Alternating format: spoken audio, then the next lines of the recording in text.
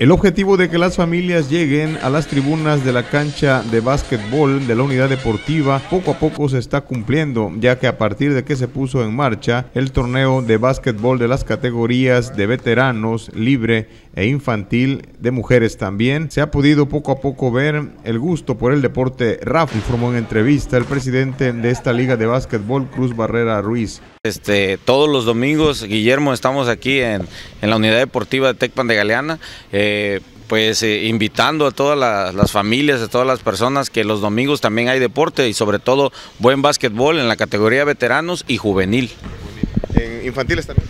Sí, los infantiles pues están, son los días sábados y esos se van rotando en cada una de las comunidades. ¿Cómo han visto ustedes la respuesta de las comunidades? Porque esta es una buena estrategia para que la gente pues al final de cuentas vaya y apoye a los equipos. Sí, la hemos visto muy, muy fructífera, sobre todo en el ámbito infantil y, mini.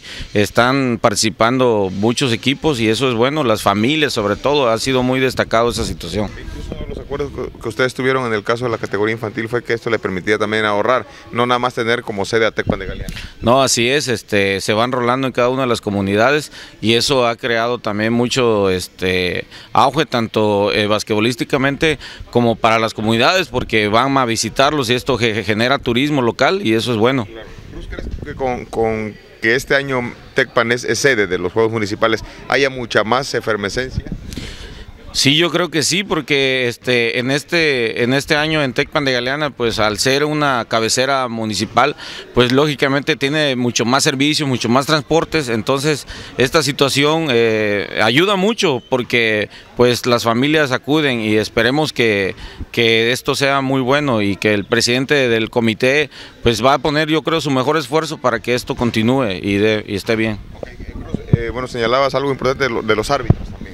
Ah, los árbitros, los árbitros tenemos árbitros que cada día pues estamos preparando, capacitando para que pues esto vaya en mejoría de los partidos, de los juegos, pero sí quiero destacar que este la situación está y queremos ahora sí este rogarle a, a la ciudadanía que nos que asista a los juegos, que asista.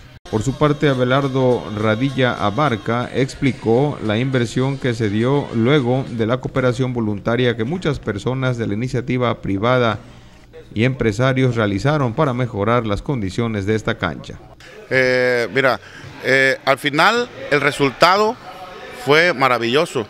Se le dieron mantenimiento a todas las lámparas y se compraron el material para tener una iluminación perfecta.